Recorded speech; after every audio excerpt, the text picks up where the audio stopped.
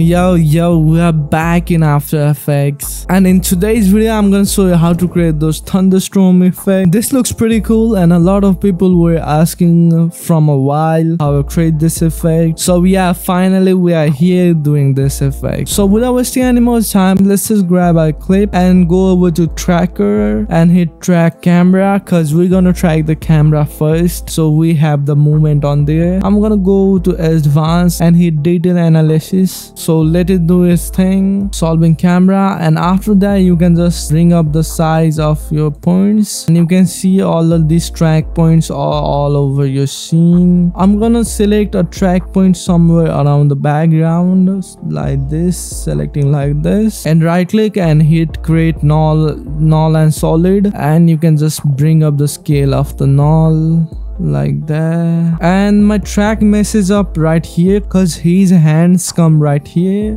But i think we can just make the lightning effect until here here only so we won't have a lot of issue in there. So let's just trim my clip till here so you can get a better idea. And super quick i just want to let you guys know that i just launched my ultimate grunge bundle. The ultimate grunge bundle allows you to add those crazy grungy aesthetic to your music video that you see every everywhere right now. It comes with 60 plus assets in it. And in my website, there's an insane bundle going on it. You are really getting like $27 off on it. So hurry up and grab the pack right now. The link will be in the description. Let's get back into the video. You, then you can just hide your track solid. And in the description, you will find a Thunder Sky overlay. Let's just drag it into our clip too. Into our project, I mean. And just drag it into your scene. And just drag it in a composition now and make it a 3d layer too. Now pull up this position of your track solid and pull up the position of your thunderstorm too. You can hit p to bring up the position if you don't already know. Then you can select the position and just copy it on the track solid and just paste it by control v on your footage. And as you can see your track solid will be gone something around here. So you can just scale it up like that. And you'll have a thunderstorm tracked into your footage. You can just push it a bit further too. So it doesn't have any much movement in it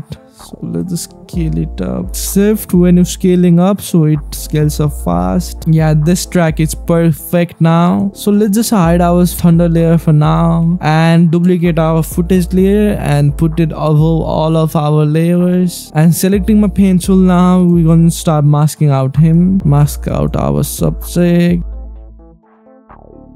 after your rotoscoping is done you can just hit freeze to freeze it. So it locks in all the rotoscope and stuff after you done rotoscoping, if you enable your layer, you can see our thunderstorm is behind our subject, which is exactly what we want. So now we'll start putting in our thunder in there. So let's just bring it up into our sky first, like about there, mm, like that. Mm, let's put it around here. Then you're gonna add like a curves now and lower down the black and bring up the whites a bit. Lower down the black. And you can add like a hue and saturation and lower down the saturation. On like about there. You can also play a mess with the hue to get it to your look of your footage. If your scene is red you can turn it into red. But my in my case my footage is a lot blue. So let's just keep it at raise and to remove the blacks we're gonna hit toggle switches and modes and just set the blending mode to screen. Or you can also mess with linear dodge i guess it looks pretty cool too.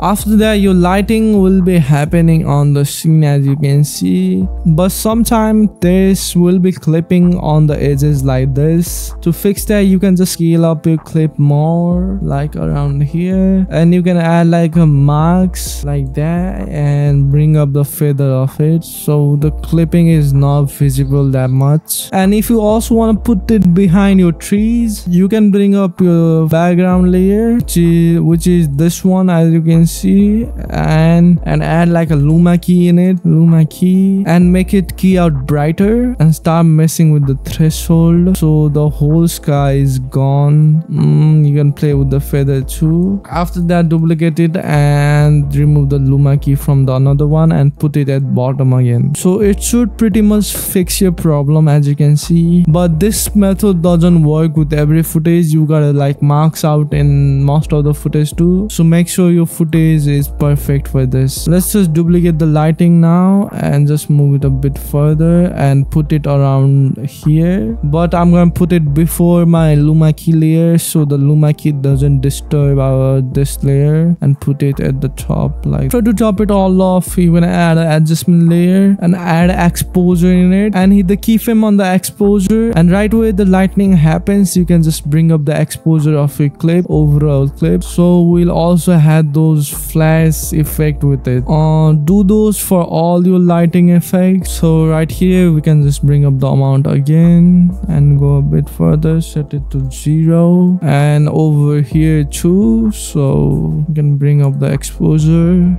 and keep it at zero again. And i'm gonna do that in the beginning lighting too so. And lastly you're gonna add like a curves color your clip a bit like a simple S curve will do it. And you can pair it with some sound effect and my final result looks something like this. So that's it for today's video guys. Hope you like the video. If you like the video please consider hitting the like button. And you can also hit the subscribe button which helps me to make more videos like this. And you can also follow me on instagram if you want. I keep dropping short form content in there. So yeah. See you in the next video. Peace